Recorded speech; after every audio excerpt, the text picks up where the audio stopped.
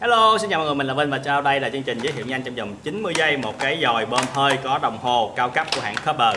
Đây là thương hiệu của à, Đức và được đóng gói tại Đài Loan. Đây là một cái dòi bơm hơi có đồng hồ cơ. À, khi mà anh em bơm hơi thì chúng ta sẽ cần một cái đồng hồ như thế này để chúng ta biết rằng hơi mình bơm vô có đủ hay không, có non hơi hoặc là có già hơi hay không. Nếu mà chúng ta không có đồng hồ này chúng ta bơm chúng ta một có thể bị bể bánh, hai là non hơi. À, thì cái đầu này là một cái đầu chất lượng ha anh em. Nó không có cái đầu vô. Anh em phải tự mua cái đầu vô chúng ta gắn vào đây. Và anh em nhìn cái thiết kế của nó rất là đẹp.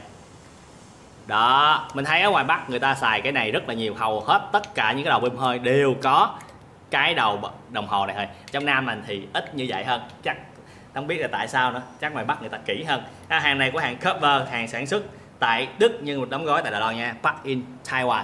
Park in Taiwan à, chất lượng rất là ok. Và giá của cái bộ này là 577 ngàn. Nếu anh em đang có nhu cầu mua một cái bộ chất lượng thì đây là một cái lựa chọn rất là phù hợp cho chúng ta. Mua hàng bằng cách bình luận bên dưới video này hoặc là xem tất cả những thông tin cái cách mua hàng nào mà anh em thích thì anh em chọn ha. Đừng quên đăng ký kênh youtube của mình và chia sẻ video này. Chúc anh em có một ngày làm việc tuyệt vời. Tôi là Vinh xin chào tạm biệt và hẹn gặp lại.